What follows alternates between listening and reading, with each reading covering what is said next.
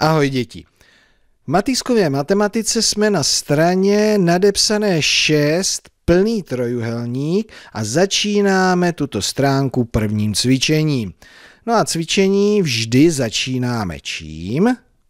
Ano, správně, čtením zadání. Tak prosím. Hm, je to jednoduché. Počítej a napiš. Co budeme počítat? Příklady na Aha, tady je sčítání a tady potom odčítání, tady se to míchá tak. Než se do toho pustíme, tak já bych vám tady chtěl připomenout, že si můžete při tom počítání, když to ještě neumíte úplně z hlavy, pomoci na číselné ose. Tak co tady máme za příklad? 6 bez 3. Takže označím si šestku a teďka bez. To je jako když beru, takže jdu doleva bez jedné, bez dvou, bez tří. Šest bez tří, tady ještě jednou, rovná se tři. Tak další příklad. Šest a bez šesti, no tak to je jasné. Bez jedné, bez dvou, bez tří, bez čtyř, bez pěti, bez šesti. Ubíral jsem, šel jsem doleva.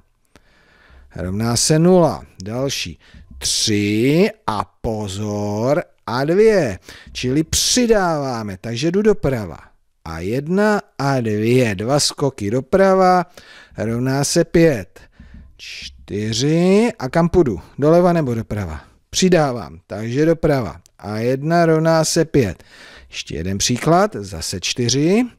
Bez dvou. Kam půjdu? Doprava nebo doleva? Ubírám. Takže doleva. Bez jedné, bez dvou rovná se dvě. Tak jako ukázka asi stačilo. No a vy se tady podívejte na ty příklady a prosím přerušte video a samostatně vypočítejte a potom si to řekneme a ukážeme, porovnáme si ty výsledky společně. Tak, držím palce, ať se vám daří.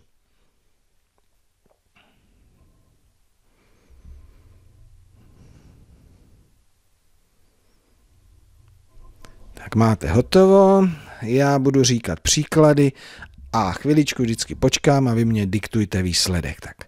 3 a 2, mhm, 5, 3 a 3, 6, 4 a 1, 5, že moc spěchám, když to tam máte napsané. 0 a 6, 6, 6 bez 3, 3, 4 bez 2, 2. Tak a já nemusím říkat a a bez, ale můžu pojmenovávat i ta znamenka, takže plus a minus. 6 minus 5 rovná se 1. 6 minus 2 rovná se 3. 4 plus 2 rovná se 6. 5 minus 1 rovná se 4. 5 plus 1 rovná se 6 a 6 minus 6 rovná se 0. Takže komu se lépe chápe A a bez, tak ať si říká A a bez. Kdo už chápe plus a minus, ať si říká plus a minus. Tak ještě řešení tady, tak to si myslím, ještě to překontrolujte. Myslím, že to máme správně. Tak, fajn.